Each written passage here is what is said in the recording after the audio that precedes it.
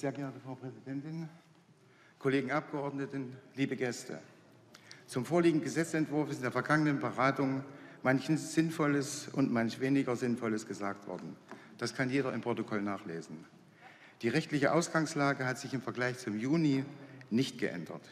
Die Länder sind zuständig für die Erfüllung der staatlichen Aufgaben. Die Gesetzgebungskompetenz liegt hier beim Bund.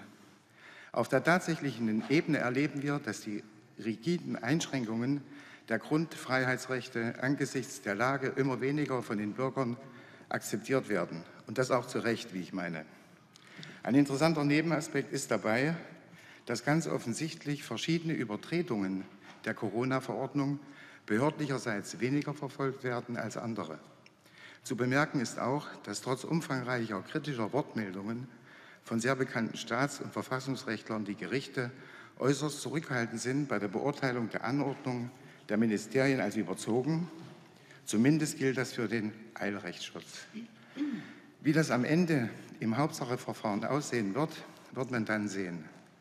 Es liegt aber in der Natur der Sache, dass zum Zeitpunkt der Entscheidung wohl alles nur noch historischen Wert haben wird.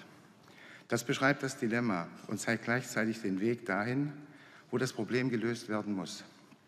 Es zeigt sich, dass die Befugnisnormen für die Exekutive in einem Umfang und in einer beispiellosen Intensität genutzt und unserer Auffassung auch jenseits des Erlaubten ausgeübt worden sind, ohne dass der Rechtsschutz, danke, ohne dass der Rechtsschutz durch die Gerichte dem adäquat nachfolgt. Ganz offensichtlich folgt das menschliche Verhalten jenseits der Idee des gewaltenteilten Rechtsstaats auch anderen Gesetzmäßigkeiten.